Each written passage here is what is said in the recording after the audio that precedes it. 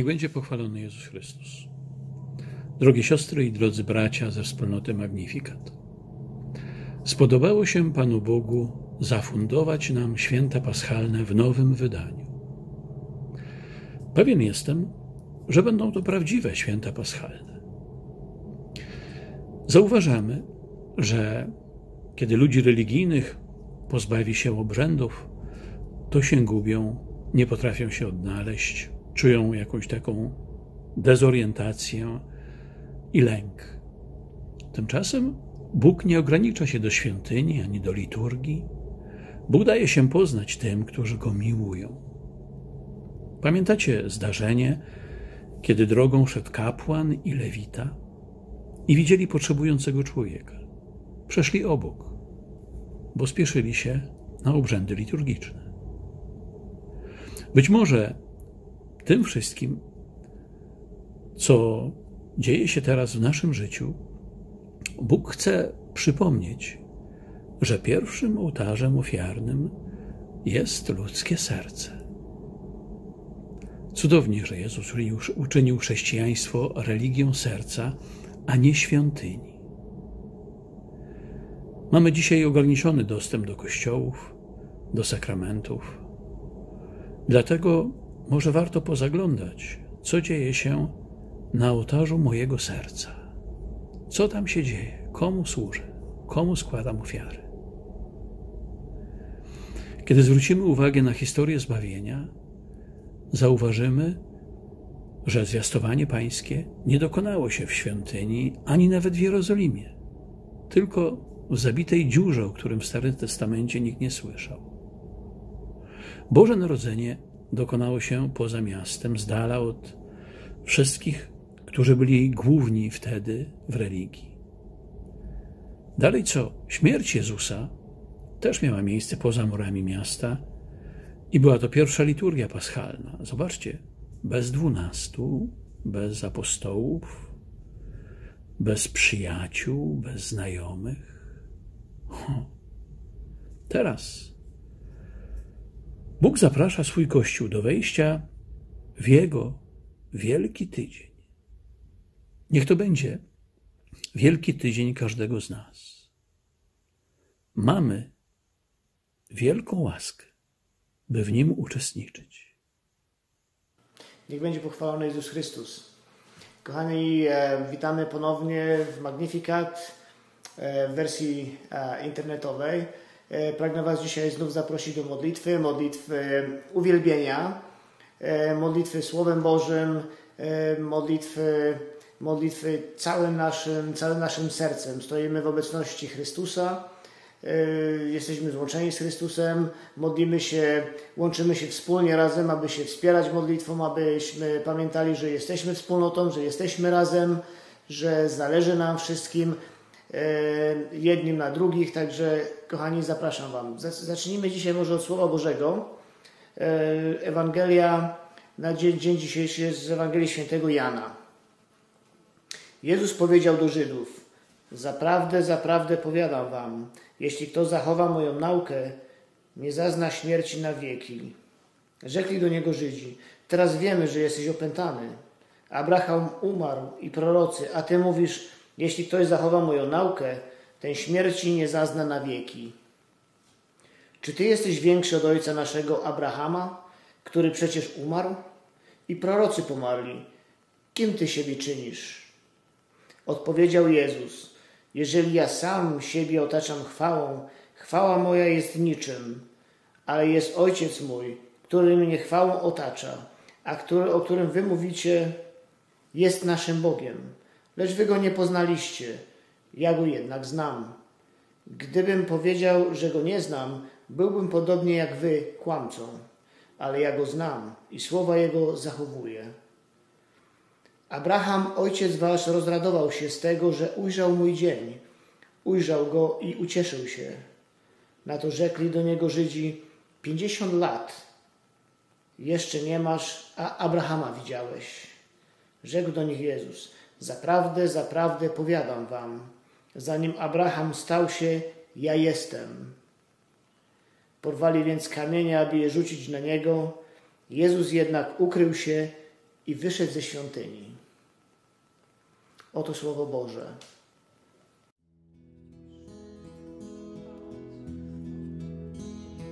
Niech Twój święty duch dziś przenika mnie. I niech zawsze już gości w duszy mej. I niech spłynie deszcz błogosławieństw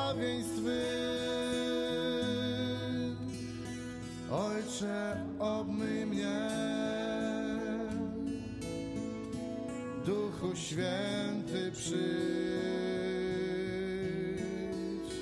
i niech spłynie deszcz. Błogosławieństw. Ojcze, obmyj mnie, Duchu Święty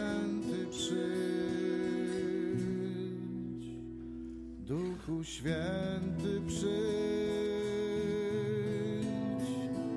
działaj z mocą w nas,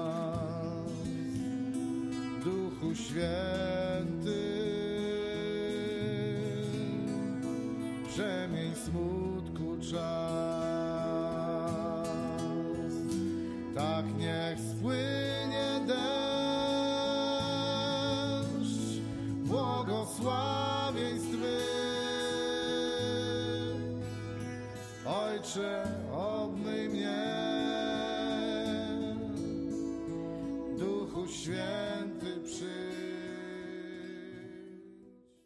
Panie Jezu, dziękujemy Ci za Twoje słowa.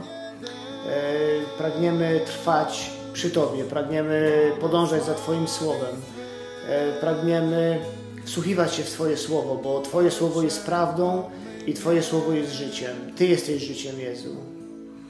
Panie Jezu, oddajemy Ci dzisiaj nasze spotkanie, aby w tym spotkaniu oddać Ci chwałę, aby wszystko to, co nasze, abyśmy umieli zostawić wszystko to, co nasze i podążać tylko za Tobą, e, słuchać Twojej woli i iść tam, dokąd nas posyłasz. Panie Jezu, oddajemy Ci to spotkanie. Ty jesteś w centrum tego spotkania. Spotykamy się tutaj dla Ciebie, aby oddać Tobie chwałę, aby powiedzieć Ci, Jezu, że Ty jesteś naszym królem, że Ty jesteś naszym Panem. deszcz Ojcze, obmyj mnie, Duchu Święty przyjdź i niech spłynie deszcz błogosławieństw. Ojcze, obmyj mnie, Duchu Święty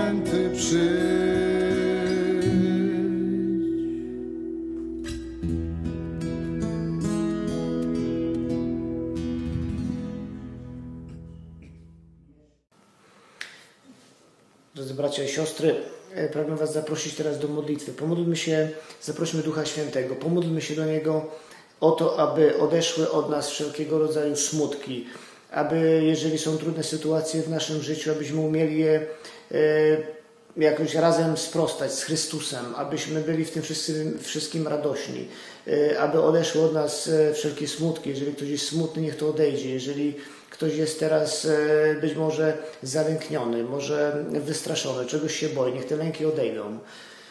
Pomódlmy się, aby, aby nasi bracia i siostry, którzy mają problemy, ujrzeli Chrystusa ujrzeli, ujrzeli światło w tunelu, że jest nadzieja, bo Jezus jest nadzieją, Jezus jest e, wszystkim, co mamy i Jezus jest dobry, Jezus jest miłością. Przyjdź Duchu Święty. Duchu Święty, oddajemy Ci wszystko to, co jest w nas słabe, wszystkie nasze słabości, wszystkie nasze namiętności. Oddajemy Ci to, co nas przeraża. Oddajemy Ci to, co sprawia, że jesteśmy smutni. Niech w imię Twoje, Duchu Święty, teraz odejdzie wszystko. Jezu, w imię Twoje niech odejdzie teraz wszelki lęk. Niech odejdzie wszelka obawa. Niech tam, gdzie jest smutek, nastąpi teraz radość w imię Twoje, Jezu Chryste. Niechaj wszystkie nasze serca się rozradują Twoją obecnością. Niech wszystko to, co jest chore, zostanie uzdrowione. Wszystko to, co na naszej duszy jest ciężkie, niech teraz będzie łatwiejsze do uniesienia.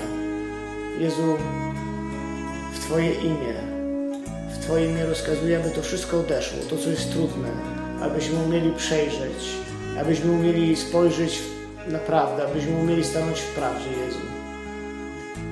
Obywam nas wszystkich przy najświętszą krwią Twoją. Chowam nas, Jezu, w Twoich ranach. Chwała Tobie, Ojcze.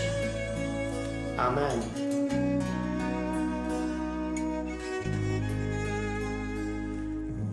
Panie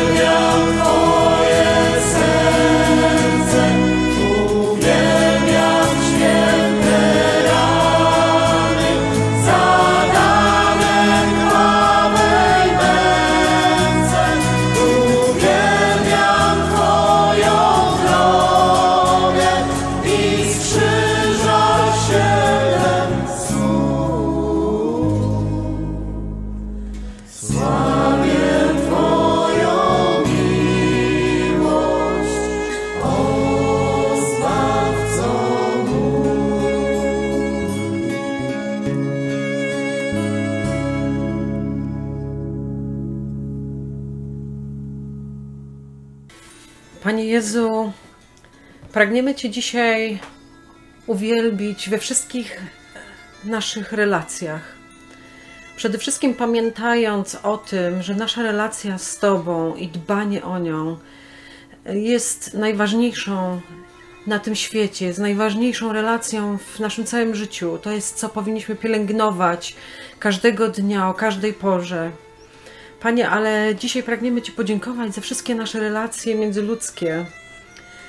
E, pragniemy Ci podziękować, Panie, za to, że nam przypominasz, że one powinny być naprawdę zdrowymi relacjami.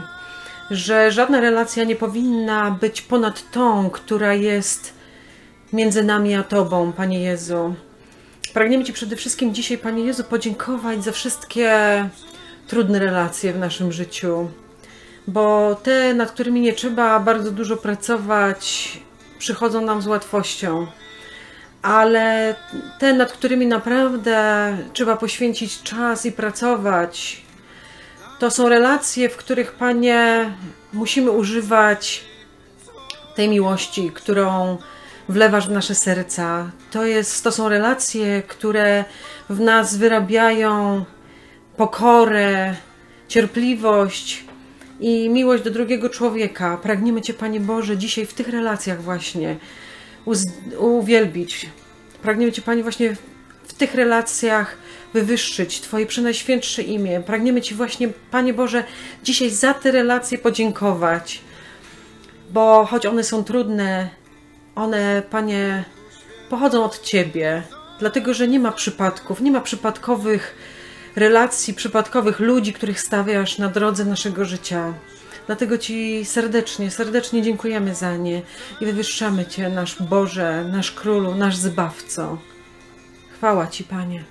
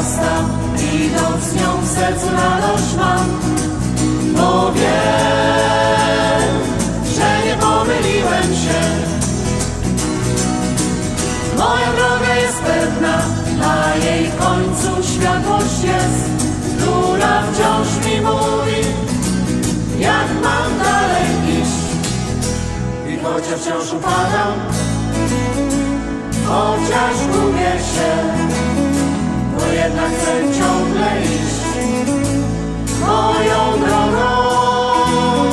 Ona nie jest prawda Tak na niej pokój jest Na niej jest moje szczęście Moja miłość.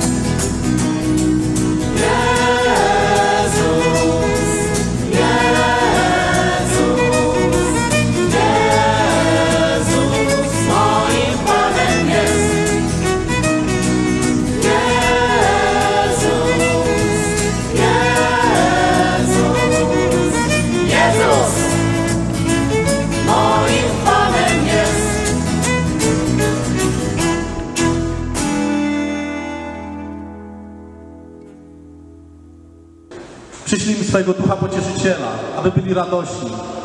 Stań na ich drodze. Daj im radość, której potrzebują. Potrzebują Ciebie, Panie. Może nie potrafią się otworzyć na Twoją miłość, ale bardzo Ciebie potrzebują. Bo każde serce potrzebuje Jezusa. Ty możesz przyjść pomimo drzwi zamkniętych, tak jak przyszedłeś do wieczernika. Przyjdź teraz do tych ludzi, dotknij ich życie, uzdrów ich. Napełnij serca miłością. Przyjdź, Panie Jezu. Przyjdź, Jezu. Jest Twoim partnerem? Tak? To zapraszam na środę. Podejdźmy bliżej do Jezusa. Jest świadectwo odwagi, świadectwo wiary. Podejdźmy do Jezusa, to do Jezusa idziemy. Kochani, zapraszam, podejdźmy bliżej. Zatańczmy dla Pana, zaśpiewajmy dla Niego. On jest naszym Panem.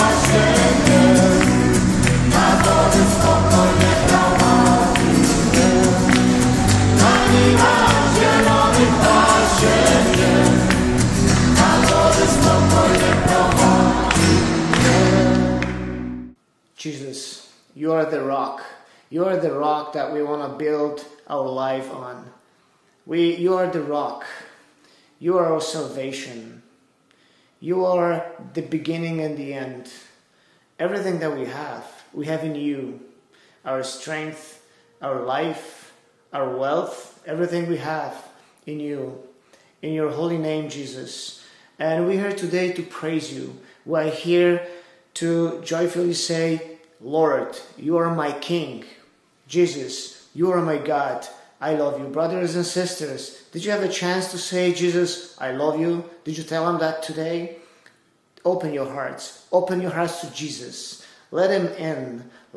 Invite him. Invite him to your life because he is almighty. He is most high. There's no one. There's no one like him. There's no one like you, Jesus. And we are inviting you to our lives. Inviting you to our work, to our families. Be our King. Be our God. Because you are the most high. We praise you. We adore you, Lord. We adore you, Jesus. We adore your holy name, Jesus.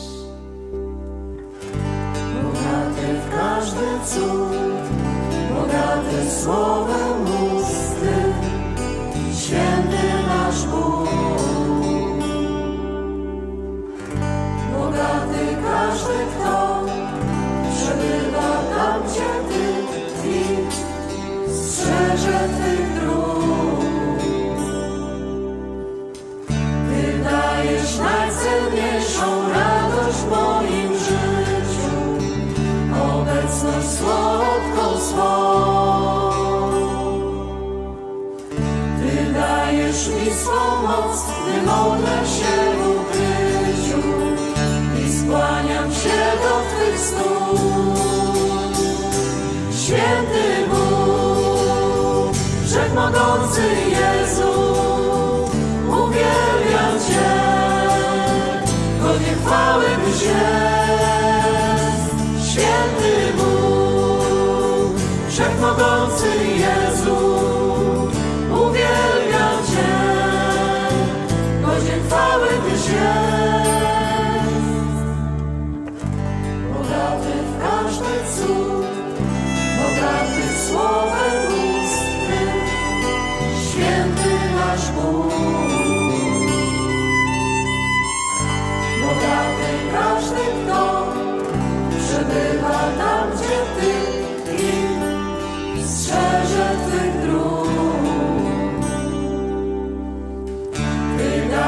najcenniejszą radość w moim życiu, obecność słodką swą.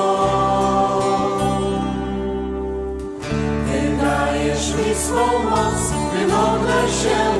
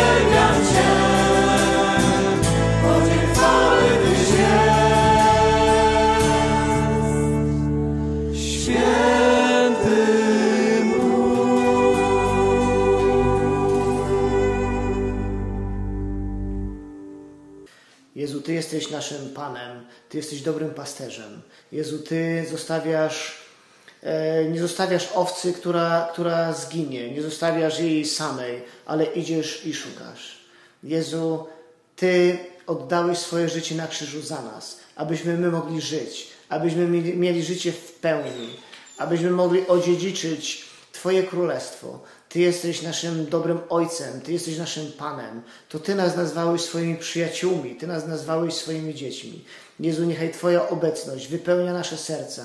Niech Twoja obecność odmienia nasze serca, odmienia nasze życie, abyśmy byli pełni odwagi i radości, abyśmy zanosili to wszystko, co nam przekazujesz do drugiego człowieka, abyśmy Ciebie nieśli drugiemu człowiekowi.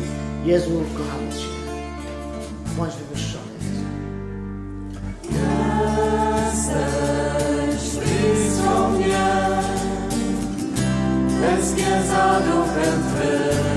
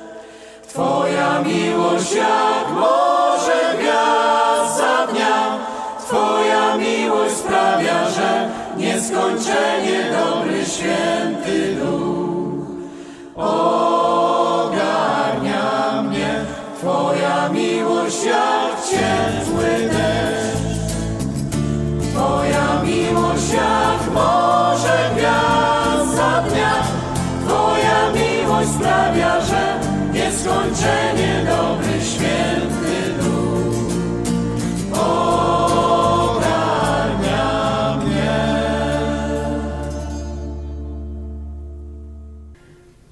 Panie Boże, stajemy teraz przed Tobą. Pragniemy Ci serdecznie podziękować, pragniemy Cię uwielbić w tym świętym czasie Wielkiego Postu. Czasie Wielkiego Postu, który nam Panie dajesz, abyśmy e, mogli z, z refleksją popatrzeć na naszą codzienność, na nasze życia, na to, jakie prowadzimy, e, na nasze relacje. Panie Boże, pragniemy Cię dzisiaj uwielbić e, w tym szczególnym czasie, w tym wielkim poście, gdzie musimy teraz siedzieć w domach, jesteśmy do tego zmuszeni. E, I dziękujemy Ci, Panie, za to, że szczególnie właśnie w tym czasie Ty pragniesz nas przybliżyć do siebie, że szczególnie w tym czasie, Panie, Ty chcesz nam pokazać, jak bardzo Ty nas kochasz.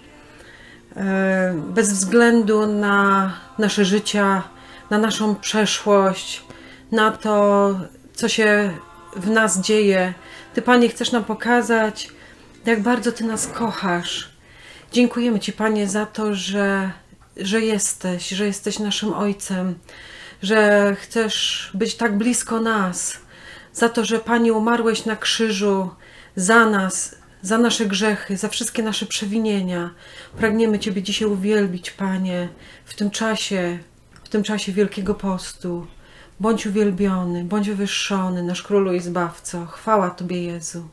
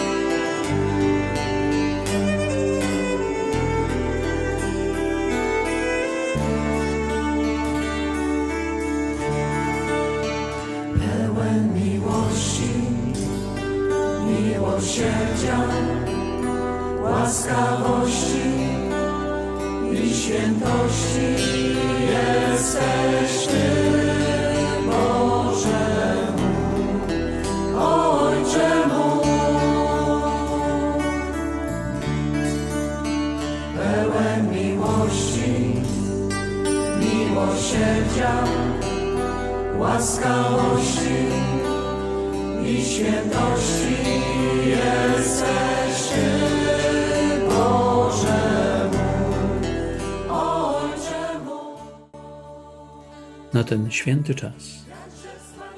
Niech Pan obdarza nas wszystkich swoim błogosławieństwem.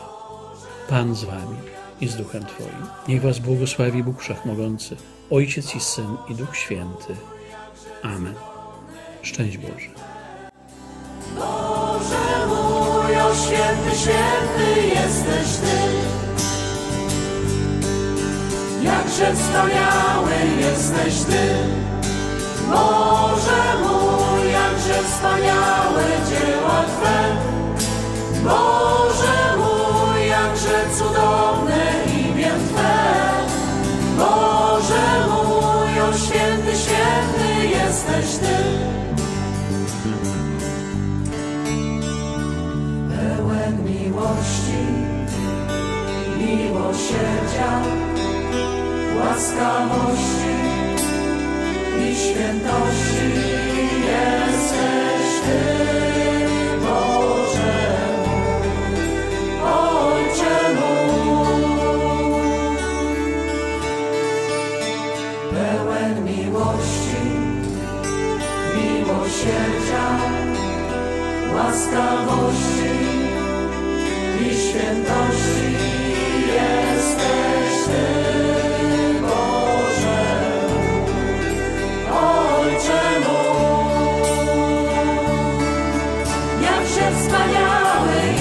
jesteś Boże mój, jakże wspaniałe dzieła Twe. Boże mój, jakże cudowne imię Twe. Boże mój, o święty, święty jesteś Ty. Jakże wspaniały jesteś Ty. Boże mój, jakże wspaniałe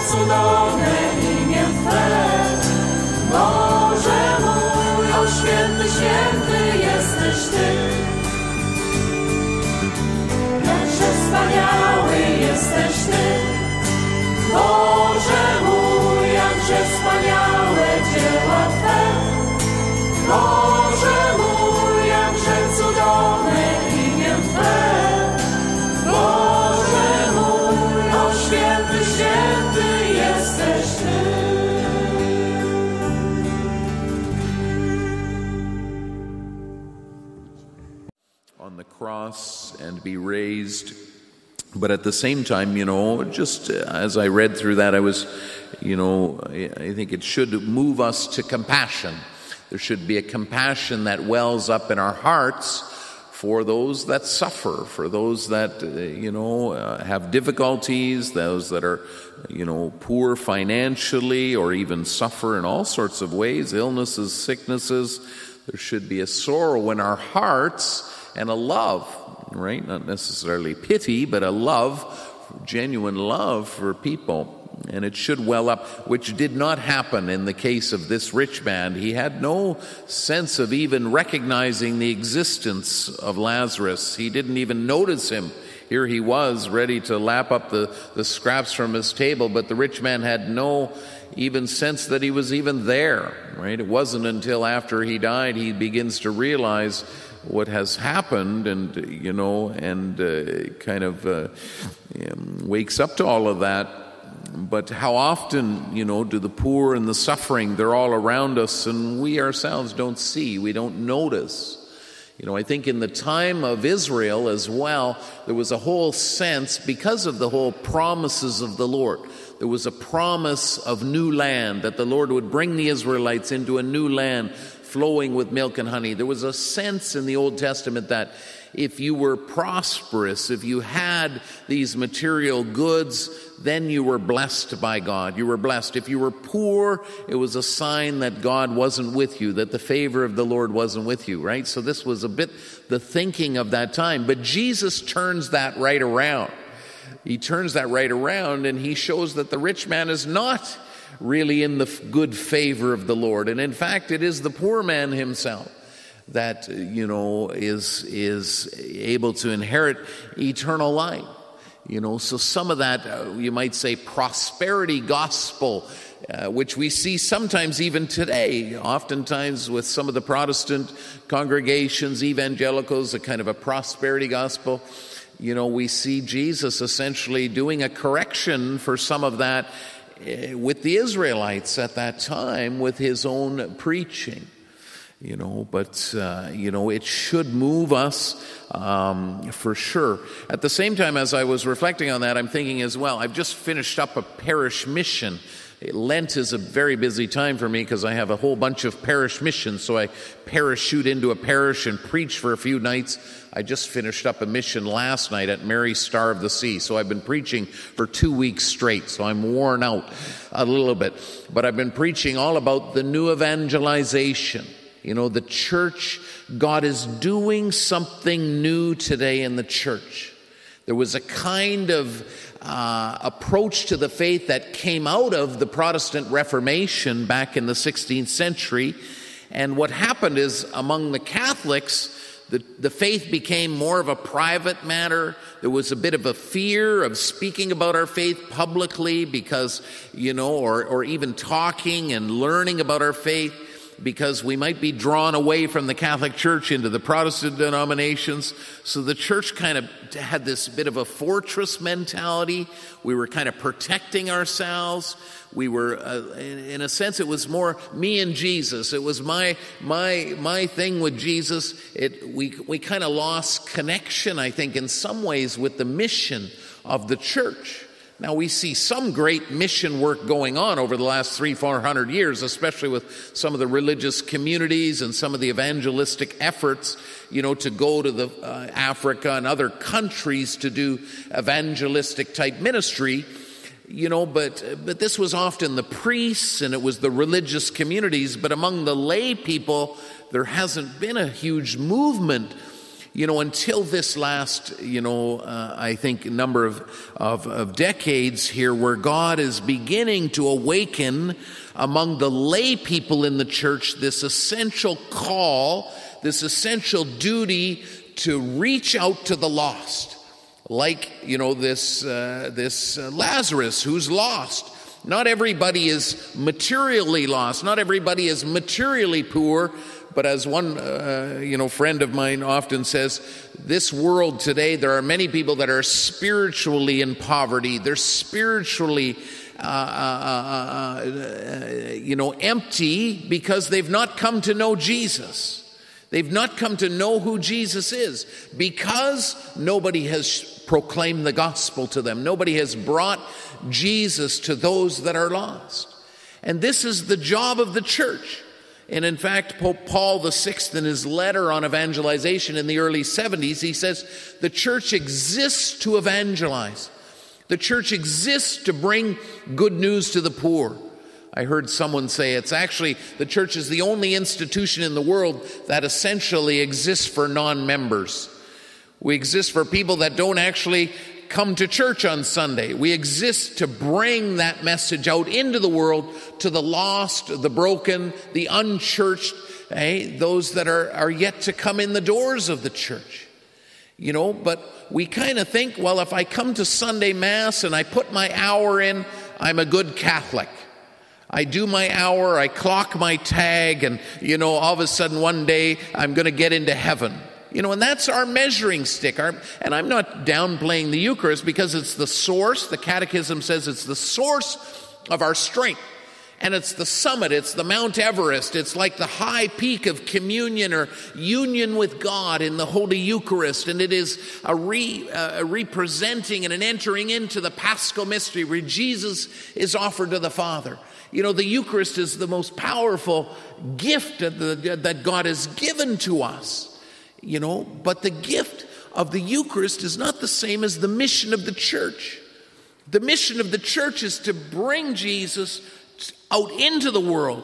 And we do that by getting filled at the table of the Lord. We do that by coming to Jesus and getting transformed in the Eucharistic feast, in the Word of God, where we're changed, we're healed, we're freed, we're delivered, and then we have something to give away. We have Jesus living in us, and now we can go out to our neighbors. We can go out to the marketplace. We can go to the poor in the streets, and we can begin to share Jesus the Lord. And that's our mission. I think when we stand before the Lord on Judgment Day, you know, the Lord's, he, he, he probably is going to ask us about Mass attendance. I'm not saying he's not going to ask us about Mass attendance. I actually don't know that it's a questionnaire, you know, but anyways, if it were, you know, kind of a, a report, you know, m- one question might be, you know, have you shared your faith with anyone? Have you brought the gospel into the world? Have you proclaimed Christ to the lost and the poor? Or have you just, you know, kept your faith all private and never shared it with anybody? You know, I think that's one of the questions. I don't think our judgment is just going to be on mass it's going to be on the mission. The church exi- if the church exists to evangelize, if we exist to proclaim the gospel, surely that has to play into our evaluation when God is assessing the fruitfulness in each of our lives right, of our lives, of our Christian faith. Hey, what does St. James say? Faith without works is dead, right? Faith without works is dead. Anyways, boy, you're all quiet. You should be all saying, Amen, Amen, Amen. How come? Am I too hard on you? Or is it just because it's Thursday night and everybody's tired? Or am I yelling too loud? I don't know. Hey, Hey, or maybe how many how many are understanding English? That's another whole question, right? right? About half, right? Okay. So that's a little bit of it too. Hey, but this is our this is our mission. This is our call. Right? And and and I think unless we understand that, unless we get that, we're not going to get what God is doing with the Holy Spirit today because God is lavishing the Holy Spirit upon the church. God is igniting a new fire in the hearts of Catholics and Christians throughout the world. God is birthing something new. But again, it's not so that we just go up in the upper room and just, you know, stay there in the upper room for the rest of our life. You know, it's like it's like the apostles when they went up to the Mount of Transfiguration and they saw this, you know, Abraham and uh, Elijah or whoever it was, Moses and Elijah up on the, the mountain, right? What did Peter say? Hey, let's build a few huts and stick around here, right? Let's stay. This is nice. This is a nice place. It's so comfortable up here. This is great. We've just had this heavenly vision. It's glorious. You know? What did Jesus, all of a sudden it all ended and he said, okay, now we got to go down the hill. We got to go back into the world because we got a work to do. I have to go to the cross. I have to go and carry the cross for the sins of humanity. We can't just stay on Mount Transfiguration. We can't just stay around the table of the Lord. We got to go out and transform the world. We got to go bring the gift of Christ to the world. Amen. And so, too, I think one of the challenges with the charismatics is we discover the prayer meeting. And it's lovely, and it's a little bit like Mount Transfiguration, and we, we, we just want to hang out at the prayer meeting for the rest of our life. And if we're doing that, we're not getting it. We're not getting the essential purpose of the prayer meeting. The prayer meeting is to light a fire in us. It's to get us excited. It's to get us discovering the gifts that God has given us. Again, not so I can say, wow, I got all these gifts. It's so that we can use the gifts, so that we can go out and heal the sick. We can go out and prophesy over people. We can go out and preach the gospel. We can go out and teach the people. All these gifts of the Holy Spirit are not for us. They're for the mission of the church. They're to bring Christ into the world. Amen. I'm getting excited. Amen. You know, in the sacristy, I was hoping Father Matthias would be showing up because I was going to ask him to do the preaching because I didn't have anything to say. But the Lord seems to have given me a thought or two so, anyways, you know, this is the call of God in the church. And I, I, I share all this because God is doing this today. He's awakening the Holy Spirit for this new missionary thrust. And that missionary thrust and movement has to be coming from the lay people. It has to be coming from the baptized laity. If you're waiting for the priests to do all the ministry and mission, you're going to wait for a long time. If you wait for the religious to do it, you're going to wait forever. That's not what God is doing today. It's the age of the laity, the third millennium. I heard someone say that a while ago. The first millennium was the age of the bishops you know, maybe the bishops and the priests. The second millennium, the second thousand years was all about the religious communities, the Dominicans, Franciscans, Jesuits, all these religious communities that went to the ends of the earth. The third millennium, it's time for the laity. Okay, the bishops and the priests and the religious, they didn't get it done. Now lay people have to stand up. Hey, now it's your turn as lay people. Get up get up, right? Assume your baptism. You've been given this, this great gift in your baptism, eh? And your mission, you know what? Your mission to go out and evangelize the world, where does it come from? It's rooted in your baptism. It's rooted in your baptism. You don't have to wait for your parish priest to say, please go out and share Jesus in the world. It's rooted in your baptism. If you are baptized, you have been called, you have been commissioned. It's in you already, that call, that vocation, that mission. It's rooted in your baptism. So all you have to do is be who you are and go out and bring Christ. You know, now that's not easy. How do we do that? It's going to take a whole learning curve. We probably need to do seminars on how to share Jesus in the world. I'm not telling you how to do it. That's a big project. Maybe we need courses on that. How do I effectively share Jesus with others, right? We don't want to shove it down people's throats. We want to invite. In the past, there's been coercion involved in evangelism. We don't want to get into all that. We want to propose. We propose the gospel. First, we live it. When we live the gospel, when people see the joy of the Lord in our hearts, the peace of Christ in us, the love of God flowing out of us, there should be something in them that sees you and says, Wow, there's something different about you. Tell me, why are you so happy all the time? Why are you so peaceful all the time? Why are you so loving? People should see the Holy Spirit flowing through you, and it should cause them to ask questions, and they should come to you. Did you hear the story of my dad? I, I, you've not been to my parish missions. I tell all my parish missions people, my dad, a number of years ago, my dad bought an old hotel when I was 19. It had a bar and a tavern in. That wasn't really good for my spiritual life. At the time, there were lots of spirits in there, but not much of the Holy Spirit.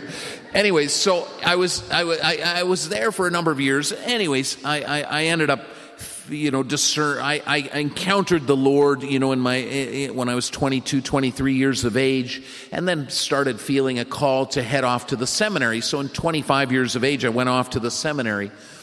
Well my dad i kind of left him high and dry because he had bought this old hotel planning to fix it up or develop the property. And here he was. I was a carpenter contractor. I was doing all his work on the building of renovating it all. Anyways anyways yes I got frustrated at times because he'd go hang out with the prayer group ladies having coffee, and I'd be working in the whole hotel fixing up the hotel. Anyways, that's another story. But dad, you know, one day he started praying and he was saying, Lord, you know, you've taken my carpenter away to the seminary, and you know, I got to do some work on the hotel. Could you please send me someone? Could you send me someone? And, and so he was praying and asking, and a couple days later, some guy showed up at the hotel. And he says, You know what? I happen to be traveling across Canada and I've run out of money. But he says, You know, I'm a carpenter. I'd be willing to work it off if you would uh, put a roof over my head and give me a room. And so my dad said, Yeah, great deal. Saw it as an answer to prayer. And he put this guy to work. And they worked for a couple weeks on the hotel, fixing something up, you know. And but at the same time, my dad was just in love with the Lord. And, and this hotel, we had about 30 apartments in the hotel. It was more like a, a rooming house apartment building than a hotel. But, anyways, we had about 30 rooms in there. And my dad was constantly doing ministry with a lot of these people. Often, a lot of the clientele were street people. They were, they were really the poor, you might say, in our culture, a lot of them on welfare uh, and the hotel was more run down. So here my dad was, but my dad just loved on them every day, and and a lot of people would come see my dad every day, and he'd pray with them, he'd counsel them, he'd share his faith with them, whatever it was. I tell you, my dad taught me a whole lot about evangelization just by watching him every day do that. Well, this carpenter there was working, and I guess probably saw this stuff going on that my dad was doing in terms of sharing the Lord with others. At some point, he went up to my dad and said, Vic, I got to talk to you for a minute or two you know, or for, for, for a few minutes. And, and, and my dad was busy doing something. He said, Can it wait? And he said, No. And he grabbed my dad by the shoulders and he said to my dad, Vic, tell me about this Jesus guy you know.